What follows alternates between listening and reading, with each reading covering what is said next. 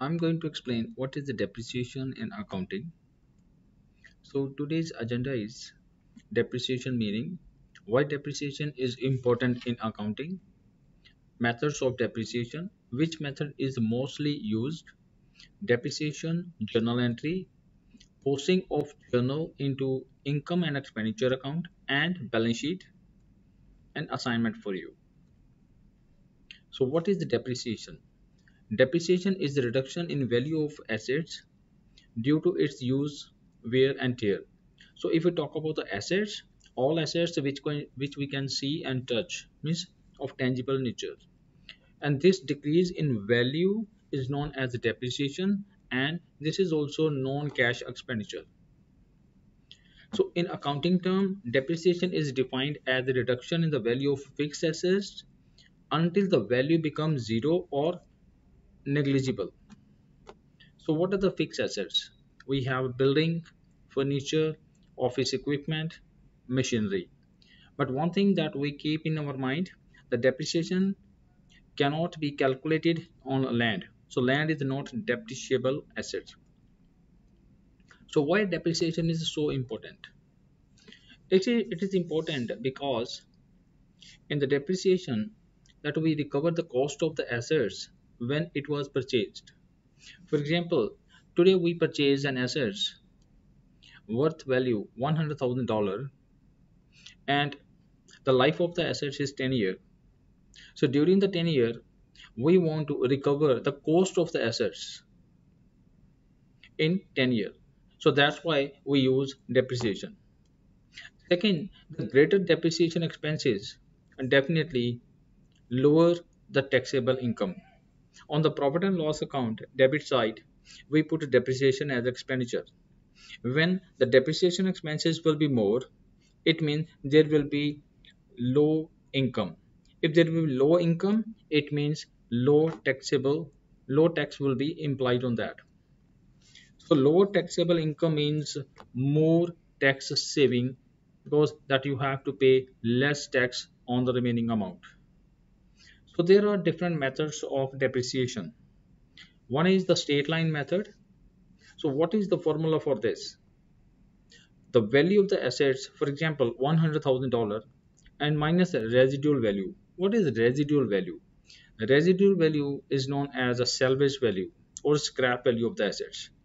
At the end of the 10 year, for example, this is the useful life of the assets. If we recover some amount, let's say uh, $10,000 so that we will deduct first in this method. So $100,000 minus $10,000 is equal to $90,000. So 90,000 divided by useful life of the assets 10. So 9,000 per year that will be deducted as depreciation. So on the right hand side you can see in the straight line depreciation method 3125 this is one amount which is going to be depleted or deducted every year for the rest of the period or life of the assets. Second method we have is the unit of production method.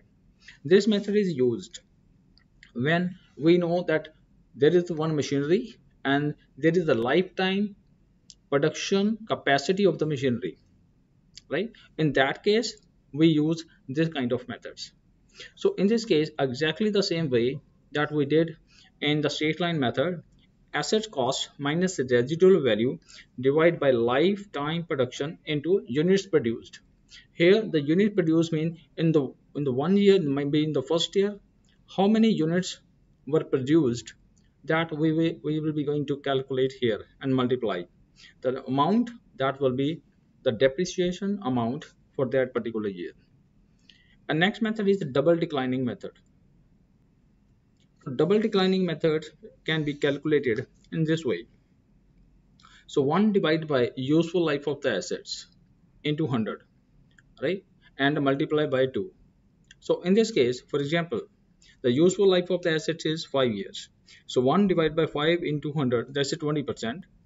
The as name states is a double declining method. So multiply by 2 is equal 40%.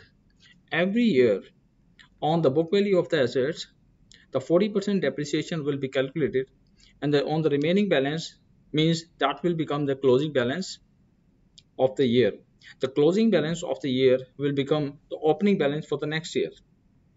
And next, on the next year closing balance, again 40% will be calculated on the remaining balance and so on till the value become 0. Why use double declining method? Is also very important. Double declining method we use in some of the cases. So in this case, it records the larger depreciation expenses during the starting period, during the earlier years of an asset's useful life, and smaller ones in the later years. As a result, companies opt for the DDB, like the double declining balance method, for assets that are likely to lose more of their value or most of their value early on at the beginning or which will become obsolete more quickly. So take an example of car. At the very beginning, the car value is big and during the uses and the lifetime of the assets, then value of the car is going down. So take an example of a computer as well as electronic items. So most of the companies they use double declining method for for this calculation. So one of the example is here. I would like to explain all these three methods with this example. Let's say assets cost is 85,000 and residual value means scrap value of the assets is $5,000. Useful life of the assets is 5 year. Lifetime production in units is also given. That is 20000 units produced in the first second third fourth and fifth year are 34 3500 4000 2500 7000 and 3000 respectively. Now so i'm just going to explain all these uh, methods in detail. So calculate the depreciation for the five year using all three methods of depreciation now, starting with the first one, straight line method. So assets value is $85,000 as you can see minus $5,000 this is the residual value or scrap value divided by 5 so $16,000 that will be depreciation amount and this depreciation amount will be applicable and used as expenses every year and we put on the debit side of the profit and loss account. Second method is units of production method. As production units are also given in this in this example. Assets cost minus residual value divided by lifetime production into units produced in that particular year. For example 85000 minus 5000 divided by 20000 units. This is the total capacity and depreciation per unit will be 4 in this particular year in the current year or you can say in the first year 3500 units were produced. So depreciation amount will be $14000 for the first year. Double declining method. Double declining method says the one divided by the useful life of the assets into 100 what is the remaining percentage comes? We will multiply by 2 so that will be double declining method. Now look at this. All these three methods I have calculated for making you understand in the first year, second year, third year and fourth year.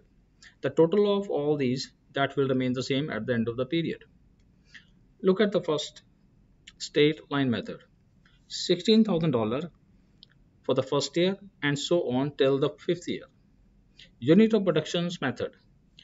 Once the unit of productions are given in the question or we, we can say those companies which have those kind of uh, manufacturing of the products that can be calculated very easily. Take an example of a laptop or maybe shoes or maybe some electronic gadgets. So these units 3500 units 4025 7000 and 3000 units were produced in total 5 years and the total lifetime of the assets. So now we have calculated that what is uh, the unit of production in the depreciation or every year. So per unit production will be multiplied by total number of units for all the years and total will be $80,000 double declining method is $34,000 that is what that is the first year depreciation that we have calculated. And 20400 12240 734444061610 at the end. Note at the sixth year what will happen? Opening balance of that will be 6610 when assets would be sold. In the first two method at the very beginning we will deduct the residual value that is the $5000 but for the double declining method we are not going to decrease or deduct this amount so directly on the value on the book value of your assets we will be going to calculate the percentage. Like for example here the 40 percent. The 40 percent of 85 thousand dollar that will be 34,000 now i'm just going to explain the double declining method in detail. Look at this.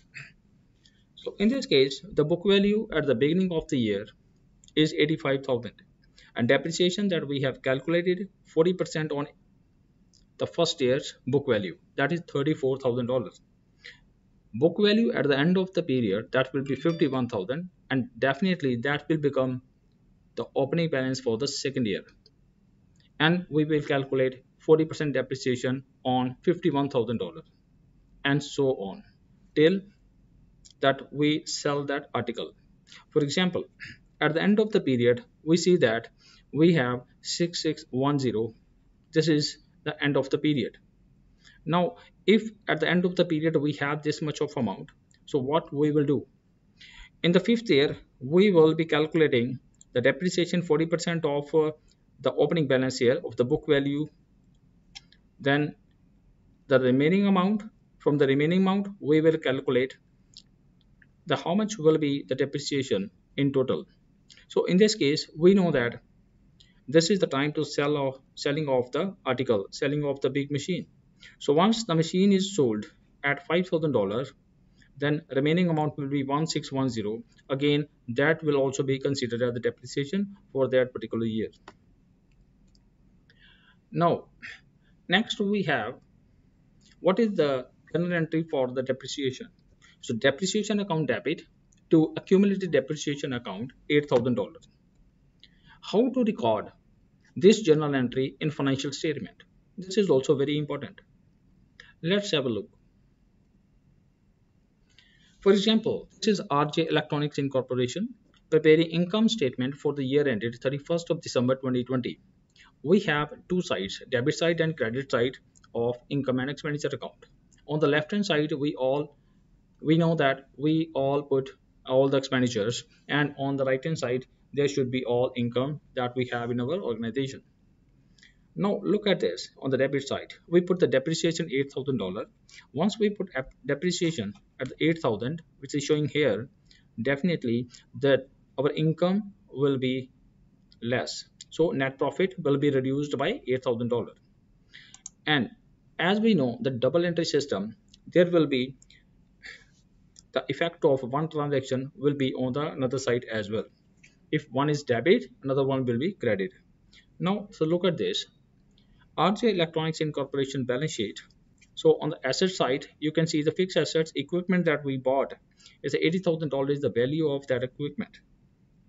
And less accumulated depreciation that we have $8,000 so $72,000 that will be the remaining amount. So this will be the closing stock for closing value for 2020 and that will become the opening balance for the next year.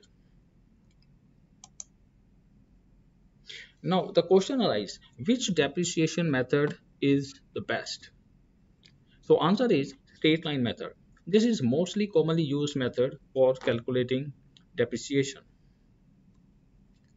So this is one assignment for you. You can calculate the depreciation by using all three methods of depreciation.